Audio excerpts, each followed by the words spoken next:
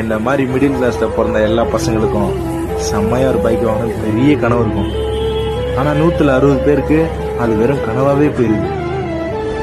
இருபது பேருக்கு அந்த கனவு பழிக்கும் சொல்ல போனா கிட்டத்தட்ட ஒரு வரம் மாதிரி. வாழ்க்கையில் நம்ம எவ்வளவோ பைக் ஓட்டியிருப்போம். ஆனால் நமக்குன்னு சொந்தமாக ஒரு பைக் இருந்து அந்த பைக்கை ஃபர்ஸ்ட் டைம் ஸ்டார்ட் பண்ணும்போது அது தர சந்தோஷம் இருக்கேன் அதை சொல்ல வார்த்தையே.